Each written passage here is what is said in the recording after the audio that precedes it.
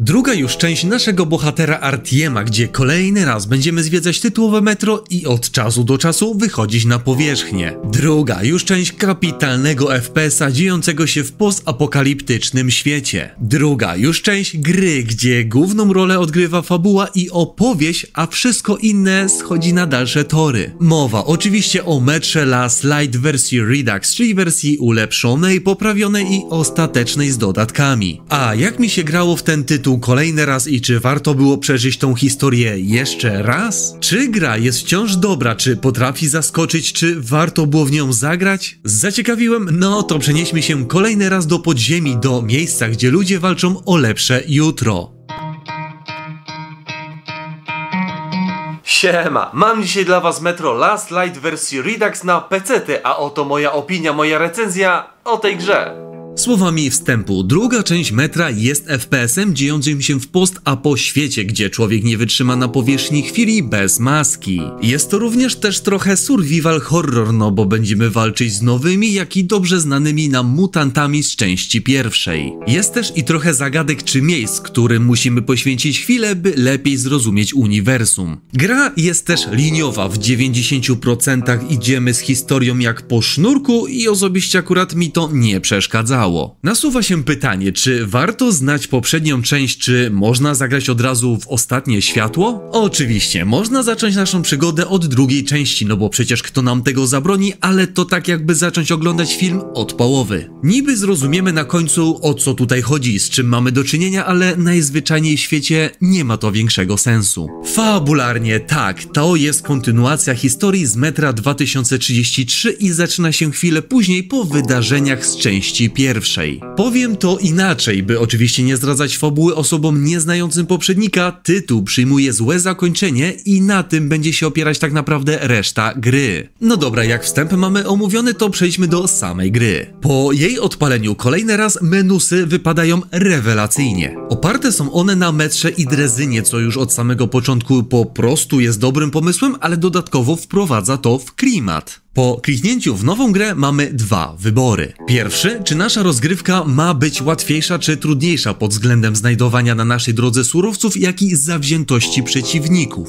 Drugie okienko to klasyczny wybór poziomu trudności gry. I wiecie co? Tak, faktycznie to, co wybierzemy tutaj ma kolosalne znaczenie, czy gra będzie dla nas zwyczajną sielanką, czy rzeczywiście przetrwaniem w ciężkim świecie metra. No dobra, po tym istotnym wyborze blatuje cutscenka. I jakby to ładnie powiedzieć, znowu nasza historia będzie się opierać na obcych stworzeniach, czyli cieniach. Dalej, nasz niemowa Ardiem jest wszystkim ludziom na stacji doskonale znany i jakby na to nie patrzeć, każdego podziwia za odwagę i oczywiście dokonania. Cała gra, cała fabuła Last Light będzie się opierać na małym cieniu, gdzie każdy na początku będzie chciał go zabić. No ale dobra, bez spoilerów i stety, niestety na tym muszę zaprzestać, bo ciąg dalszy gry toczy się właśnie wokół tego początkowego wydarzenia z cieniem, jaki jest oparty na zdradzie i zaufaniu. Oczywiście, standardowo już dla metra, gra ma dwa zakończenia, dobre i złe, a to od nas i od naszych decyzji w grze będzie zależeć, które z nich zobaczymy na samym końcu. No właśnie, jak już wspomniałem, najmocniejsza strona metra to jest właśnie fabuła i ona kolejny raz wypada tutaj kapitalnie. Czy jest ona lepsza od metra 2033? Moim zdaniem poprzednik podniósł wysoko poprzeczkę, ale Last Light ma bardziej zawiłą tą fabułę i co za tym idzie bardziej zaskakuje. Odpowiadając na pytanie, tak, fabuła jest jeszcze lepsza i jeszcze bardziej wciąga. No ale cóż, jak to ładnie bywa w postapokaliptycznym świecie. Mutanty mutantami, potwory potworami czy anomalie, ale to nie one są najgorsze w tym bezdusznym świecie. Jest to po prostu drugi człowiek, człowiek chcący władać wszystkim co pozostało, człowiek chcący walczyć dla samej walki, dla samej dominacji i pokazaniu niepotrzebnej przemocy. Tak, kolejny raz okazuje się, że to my, ludzie, jesteśmy tymi złymi i najgorszymi. Mechanicznie, druga część metra w wersji Redux nie różni się zbytnio od poprzednika też wersji Redux. Cały interfejs i HUD pozostał bez zmian i wiecie co? w sumie dobrze, no bo jak coś działa i jest to dobre, no to nie było sensu tego zmieniać i kombinować na siłę. To samo tyczy się reszty mechanik. Chodzimy i przeczesujemy każdy kątek, każdy zakątek, by znaleźć amunicję, filtry, apteczki czy amunicjowalutę. Wciąż możemy modyfikować naszą broń czy posiadać arsenał wedle naszych predyspozycji. Oprócz tego taką większą zmianą jest to, że mamy masę i jeszcze więcej niż oczywiście w poprzedniku przerywników filmowych cutscenek, ale to jest naprawdę na duży plus, bo są one zrobione perfekcyjnie i świetnie pasują. No ale dobra, wróćmy jeszcze do pukawek, jak to z nimi jest i jak ono tutaj wypada, jak wypada strzelanie. Broń, jaką dostajemy to w gruncie rzeczy znany nam arsenał, jak i parę nowości. Standardowo strzelba sprawdza się idealnie na krótkich bądź średnich dystansach, za to takie AK-47 może aż takiej siły rażenia nie posiada, ale za to ilość amunicji w magazynku wystarcza na dłużej. Natomiast samo strzelanie, że strzelanie kolejny raz wypada tutaj lepiej niż dobrze i jest mega satysfakcjonujące. Rozbryzgi krwi nie tylko na naszej masce. Strzelba dająca konkretnego kopa, sam taniec w walce z mutantami i ciche podejścia do przeciwników ludzkich. Jest naprawdę bardzo dobrze. Natomiast przeciwnicy ludcy to po prostu ludzie z pukawkami i możemy to rozwiązać po cichu bądź idąc na żywioł, prując w nich śrutem na full. No ale cóż, czym głębiej w przysłowiowy las, tym dostają oni lepsze uzbrojenie, jak i pancerze wymuszające na nas precyzyjne strzały, a sam koniec gry no to już naprawdę kompletny chaos, czyli dosłownie walka o przetrwanie. Co do mutantów, większość to znane już nam bestie z poprzednika, jak i parę nowych, choć jakoś wybitnie osobiście nie zapadły mi w pamięci. I uwaga, żeby teraz nie zapomnieć, ta wersja gry posiada też DLC.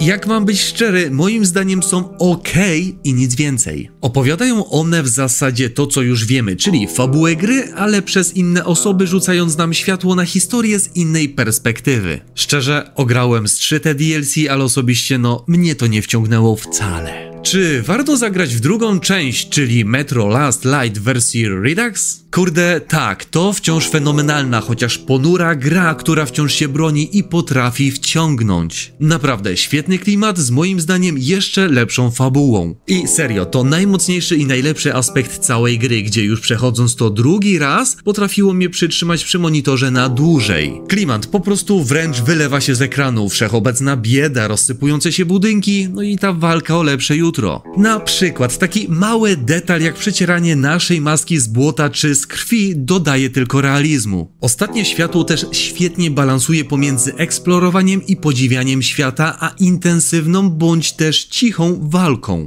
Same postacie napotkane na naszej drodze są jakieś i potrafią zapaść w pamięci. Serio, widzimy jak się zmieniają i nie są tylko wydmuszkami taką jakąś popierdółką, którą ominiemy, pójdziemy dalej, no i żyjcie sobie dalej, ale pamiętamy je, coś w sobie mają, po prostu. Wciąż strzelanie jest dobre i to nawet więcej niż dobre i potrafi satysfakcjonować. Graficznie nie jest źle, lokacje są naprawdę w porządku, a na powierzchni wypada to jeszcze lepiej. No ale cóż, niestety dużo gorzej za to wyglądają modele postaci i ich gęby. Serio, czasami wieje biedą, co gorsze, czasami potrafią to one przestraszyć sztuczną mimiką. Co moim zdaniem wypada najgorzej, no to to, że kolejny raz nasz bohater jest niemową i znowu nic nie wypowiada przez całą grę. Wypada to po prostu mega sztucznie, kiedy każdy z napotkanych towarzyszy, czy tam ktokolwiek inny prowadzi z nami rozmowę, a my i tak nic nie mówimy, a dialog się odbywa, czyli co, to jest jakiś przekaz myśli? Tak, to naprawdę potrafi wytrącić z imersji i osobiście trochę mnie to irytowało. Natomiast całościowo przymykając oko na bohatera niemowę, to moim zdaniem jest tytuł, który każdy szanujący się gracz powinien znać. Na pewno dużym plusem jest to, że ja ogrywałem Metro Last Light na Epiku, co za tym idzie było kiedyś darmowe, a za darmo to wiadomo uczciwa cena. A jakbyś chciał zobaczyć moją opinię, moją recenzję o metrze 2033, no to link masz w opisie. A teraz na koniec pytanie właśnie to do was, jakie wy macie wspomnienia z drugą częścią metra? Kultowa gra i fenomenalna, czy jednak nie? Piszcie śmiało, no bo jak zawsze komentarze należą do was. Rzecz jasna i oczywista, zachęcam was do moich innych materiałów, jak i wiadomo, zostawienia czegoś po sobie. A natomiast na dzisiaj to już wszystko. Dzięki za poświęcony czas, trzymajcie się, do następnego i cześć!